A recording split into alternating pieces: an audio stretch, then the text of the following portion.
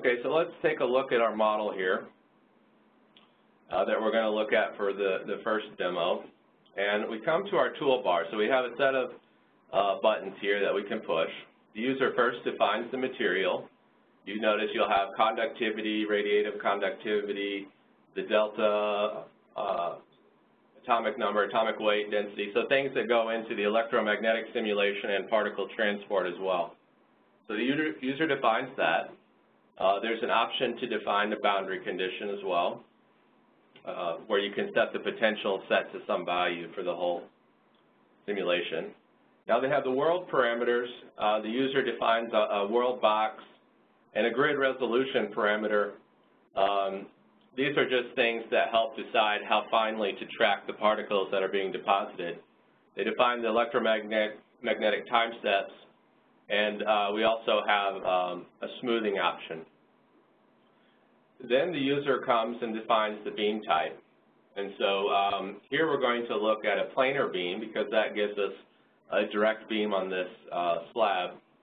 But in general, uh, the user has options. Here we've chosen one in the x-plane because you can see our material is set up in the x-plane or in the yz plane, so we want to beam along the x direction, and it's coming in the plus direction. That's, that's the direction we're going to have the particles fired from. And the, the program takes care of all of the dimensions of the beam based on the size of your problem. You just define the direction you want the beam to come from. The user has to define the material or assign the material. So here we've got material one. This is our dielectric. We've got some parameters. And then the user would uh, assign it to the right set. So in this case, we'd want to assign uh, to the magenta. And so that's called box one. We select material one and assign it. We would do that as well for the conductors. The user can look at their uh, world definition as well, if they want, as we come through these, uh, the different buttons here. And lastly, we need to mesh our geometry. Now, uh, we have a mesh tool the user can use. It allows you to set the mesh size divisions.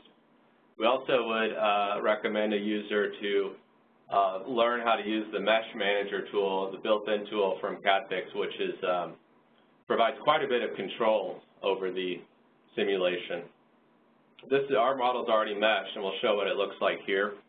Uh, we've got a really nice uh, fine mesh for this problem. We, uh, it's good to resolve these uh, in the x direction. It's good to resolve uh, pretty finely. The, the, y and z, it's a little less crucial because uh, it, it's sort of uni it's uniform in those directions. Once the user's done this, uh, we have an output tool, and they'll specify the master set, which has all the geometry in it. And you can pick an option for verbosity to, for debugging purposes as well. Then we run this tool. And so this is creating geometry for the simulation at this point. So here's what the here's what's come out of this uh, output process. And in particular, we look at the summary messages. This is kind of the file the user would look at. This was just created by the program on the output. It's got information on the beam, information on the bodies included, information on the elements and things like that, so the user gets a, a feel for if everything looks right. Now the user can run the Viz tool, which allows for looking at the beam on the geometry. So this was our geometry, and it goes very fast. There's a command line option that allows the user to spend more time looking. Uh, you can take my word for it that the beam looks correct there although it goes so fast you can't see it well. But there's a command line option for the Viz tool that allows the user to um, spend more time and customize how they want to view it. But once we are trust our beam, we have one more thing to do, which is to specify the spectrum. And that's what this file right here is showing. You can see you have total number of particles fired per time step, total time steps, total energies in the spectrum, the user uh, defines the total current incident, the duration, things like that. Here we're just doing one time step, and so the time duration doesn't matter. Uh, it's taken as constant when you just have one time step. But we'll show in the next example how the user can modify this spectrum for whatever they need to do. Um, but this file is, it's the user supplies this file, spectrum.dat, and the program reads it in, so you can do something simple or complex, whatever you, whatever you need to do. okay, and so once we've gotten to this point, we can go ahead and run. We'll run our uh, we'll run our particle transport at this point. Now, the, this particle transport is running, and it produces this output file where the user can monitor the progress. So you can see it going. That's real time. Uh, it's running, I think it's a million, it's a million events on this slab, and it's about a, you know, it's about a five-minute process or so to do it all. Uh, that file that we talked about that it outputs shows some important information for the user. Uh, it shows the grid values that are how, how it's dividing the problem up in X, Y, Z. The smoothing choice, we chose not to smooth this problem.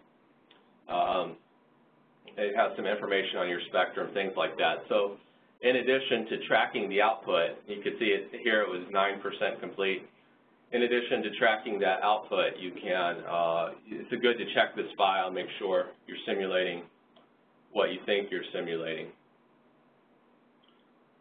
So this is going to keep running. I paused the, I paused the uh, demo to let it finish uh, so that the user doesn't have to look at it all but about five minutes later so it comes to the end of its run.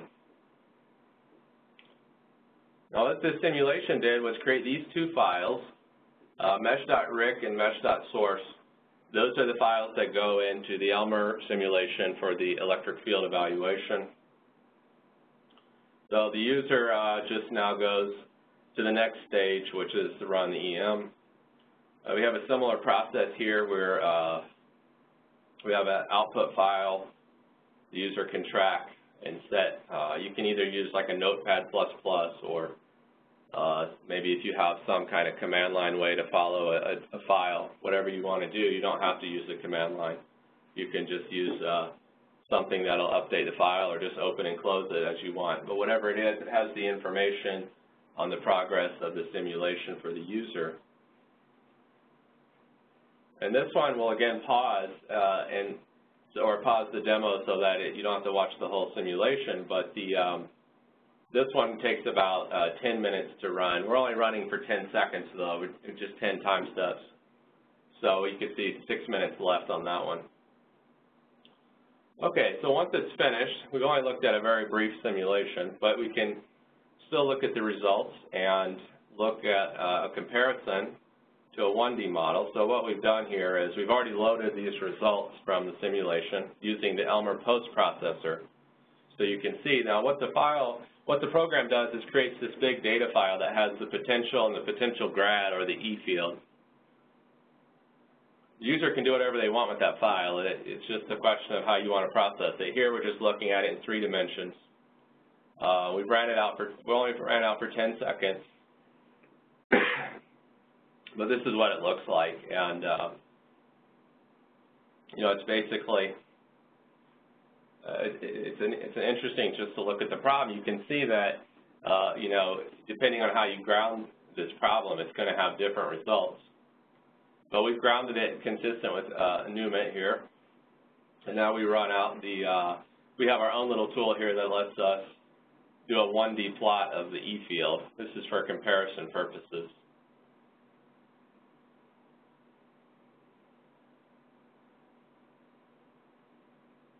And this is the comparison between our result and NUMIT 2.0. It's for the 1D slab, and it matches up nicely. Um, and again, it depends on how the user wants to uh, process these results or what they want to do with them or how they want to set up their grounding. So we're almost to the end of this demo, and we're going to look now at we're going to look now at um, a modification on this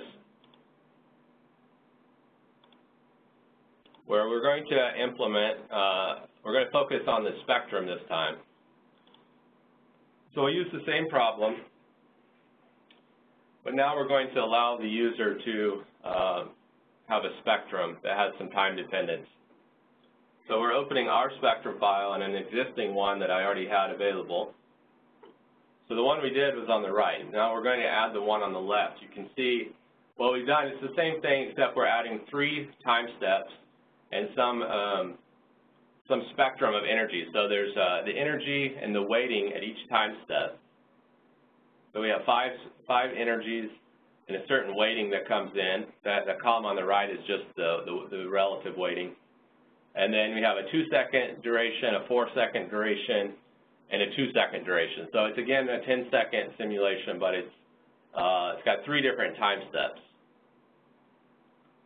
So we'll do, do the same steps. All we've done here is modified the, um, all, we, all we've done here was modify the spectrum. So uh, it's the same geometry. We just change our spectrum file and hit run again, and that's all we have to do. Uh, the user can again track it. Here it's a little slower because we have three time steps, each of a million events. And this one takes about 10 minutes to run once we've made it a little longer. But that's uh, showing the real-time um, development of this uh, transport simulation. So it runs pretty fast. It's pretty efficient. This model has, I think, about 33,000 nodes in it. And so um, it's overall pretty efficient for uh, uh, for a model that does have have a reasonable amount of nodes in it. So once that's finished, again, we will um, we can start our electromagnetic simulation, and that's going to take this charge density and charge, charge and energy deposition and turn that into uh, some electric field profile.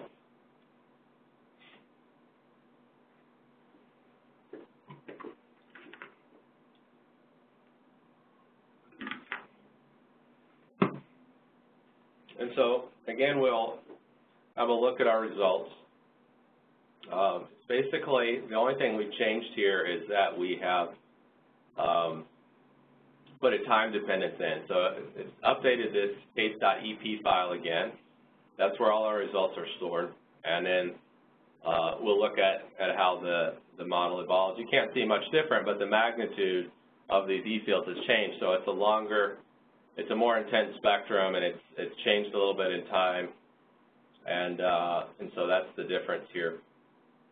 So you have some higher energy and a higher, higher level of incident current as well.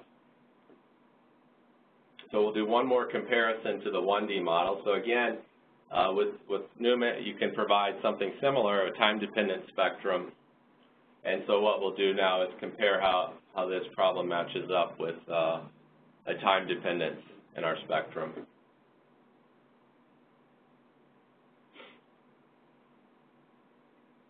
Now here the agreement is not quite as uh, one-to-one. -one the, it's very close still. Um, there's a difference in how the interpolation is done in the NUMIT uh, analysis versus what ours does. The um, you can see there's a little, just a little bit of a difference. There's uh, the the NUMIT interpolation is done as a um, uh, it's done as a uh, like a delta function a weighted delta function at each energy point, whereas ours is done as an actual interpolation between the energies, but it's pretty close. And it allows for some, probably some variation there. okay, so we've looked at the uh, we've looked at the the, the couple slab situations here, and now we're going to go and look at um, we're going to look at a, a cable model actually, so something that has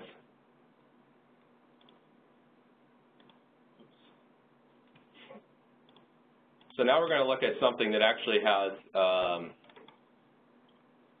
sort of a, the, the more traditional type 3D analysis, which is going to be a cable. So I'll open up our model again. And this is, uh, obviously we've already developed this model, but the user could, again, use the primitives and or possibly import models, whatever they needed to do. And we have, a, you know, we have a user manual that helps us see how to develop these models. But here we have a cable that's on a, uh, a ground plane. So you might have a cable routed on some metal plate that's exposed to the radiation environment. And, and what you can see is there's an outer conductor that's touching this ground plane. Then there's an inner dielectric. and then there's an inner uh, core conductor. So this is our model. Uh, the, the outer conductor is touching the plate at uh, that one spot at the bottom there. So there, it's just kind of resting on the plate right there at that one spot. Now here we've already gone through this model and defined things like the, the properties and the beam, but we'll run through a couple of the aspects of this problem still before we go on. so first you can see our mesh. The user could uh, use the mesh manager to make a mesh like this. Uh, this one has nice resolution to it. It's, I think this model has um, maybe 10,000 nodes or something like that. Um, in this case, we're going to we're going to use an actually an isotropic beam. So this is a little more a little more consistent with. Um, so we've chosen a box beam that's isotropic. So the box means it goes around the whole geometry in the form of a box, and it's isotropic. So this is kind of consistent with with an AE9 spectrum, something that's isotropic. You don't have the advantage of of just narrowing your beam to a specific direction. You need to you need to simulate that stuff coming from every direction. So, and again, the, once the user runs this, they uh, the program automatically sets up the right dimensions of the beam. So we start running it again. Uh, and it's the same process. We've uh, truncated the video so you don't have to see the whole thing run. And then we run the uh, electromagnetic part of this as well. So it's the same, the same process. We just have a different geometry and a different beam. And again, the user supplies their spectrum. And so we've created the, the output file. Again, we have our uh, potential, potential grad.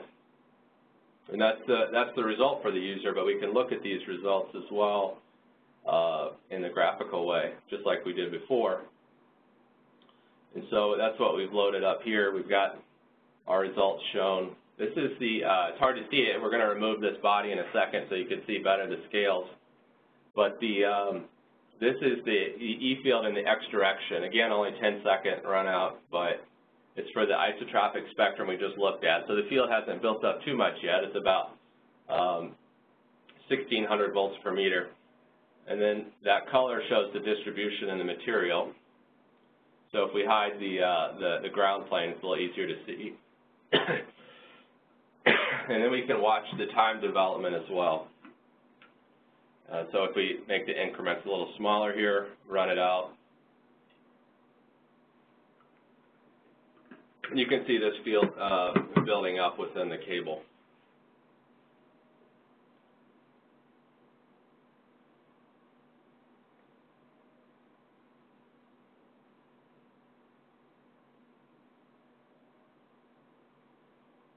Okay, so lastly, we'll look at a, a, linear plot through the material. So again, we have our own processing tool we put together. We'll run that on the file and look at the, uh, the field. So in this case, we're kind of thinking, oh, our quantity of interest is really the E field in the X direction going up through the through the cable. So X here is one of the, the direct cross-sectional directions going from the, it's the direction going from the conductor up. And so we plot the field going from the left side is that where it touches the, the ground plane and the right side is the top of the cable. So you can see the, the areas where it's zero is where the conductive areas are, and then you have these the two dielectric sections shown there. And so that's what we plot in these results. and I think that was, yes, and so that's the end of that demo. Okay, so we'll uh, close that out. I think it's on repeat. Okay, so a couple final slides. So just a summary. Um, we tried to introduce the EMA 3D internal and show it on three uh, prototype problems uh, and all the steps. And really the steps that were shown were, um, that's, that's really what's there. Uh, there is, the user does have to develop the geometry. It takes some, some work to do that, but once they have a geometry, everything is shown. And it's all GUI based. Everything can be done from the GUI except for the post-processing. Uh, it's a unified platform, and, and it's, it's pretty efficient simulation-wise. I think uh, you saw in the real-time how it was running. And for, for many problems, it'll run pretty smoothly, pretty uh, efficiently, I should say. Uh, again, the platform is flexible for geometry import, and um, and it's totally it's totally flexible for the user spectrum as well. And that's what we wanted was something that would allow uh, the user to have flexibility on geometry and spectrum, so that they can uh, supply a real ephemeris or a real output from AE9 and then incorporate this. And then we have the user manual. So, so some of the steps may have appeared to have been uh, not obvious during the first run-through of the webinar, but uh, the user manual guides it, guides it all through. And, and most of these analyses were done just uh, within an hour this morning, or not this morning, yesterday afternoon, but most of it was done within about an hour running through all the steps and everything once the geometry is developed. So that's the end of our webinar, and uh, we thank you for joining. We have also time for questions. You can submit your questions via chat now or, or even hopefully during the webinar, and then uh, we'll try to answer as many as we can. You can also email us, or uh, there's a form at the end of the webinar you can fill out.